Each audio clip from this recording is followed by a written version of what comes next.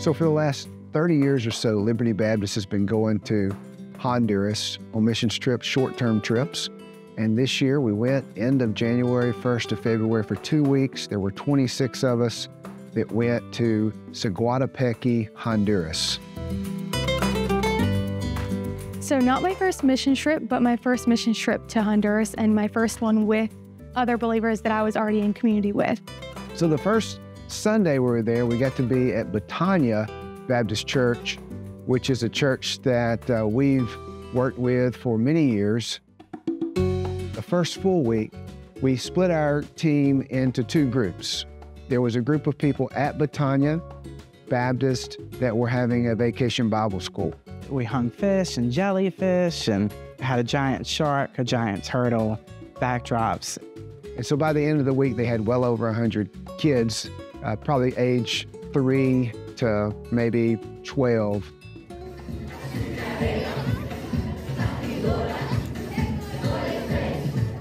At the end of the week, we give them all the supplies.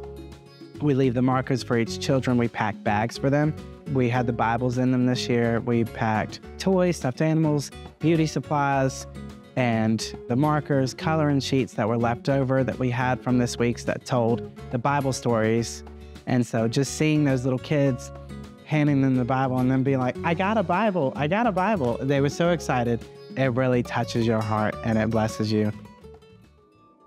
And so it was really special being able to just be hands and feet, however they tell us to be, um, and really just bring resources for them to use in a capacity that was going to serve them best.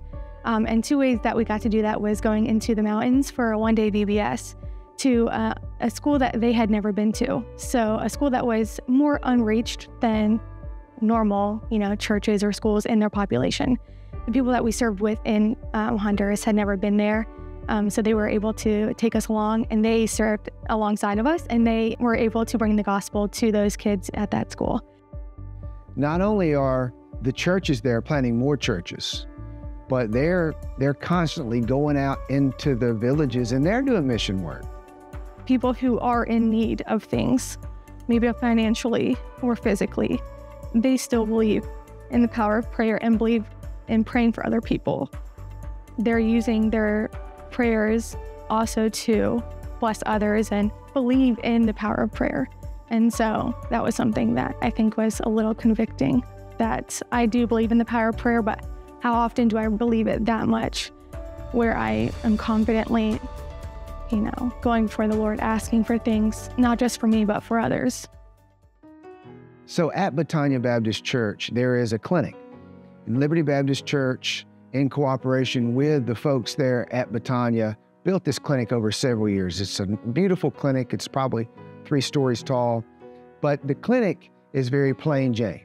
There's white walls, um, not that inviting for children.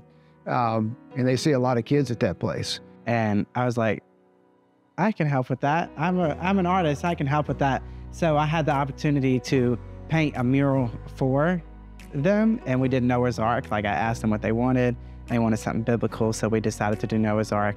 The other half of the team is at Nuevo Pacto, which is probably three miles down the road. And so we built about a six by 30 extension to the building that's going to hold the baptistry. And we built the building and they put the roof on after we left. And I've seen pictures, they've already built the baptistry. And I got a chance to speak at Nuevo Pacto on that Friday after a full week of work. And I told them it's our prayer that come Easter, which was really about a month and a half away, two months away, we wanted them to be baptizing in their, in their sanctuary. We worked all week on the baptistry. And then while we're working on the baptistry, just up the hill about 25 feet, they're building a pavilion, a great big beautiful steel pavilion where the kids can play Awana. So it's exciting to see how God's going to continue to use us. We're already making plans for 2025. We took 26 people. I think that's the biggest group we've taken from Liberty Baptist. And the projects we have planned for next year, we're going to need more than 26.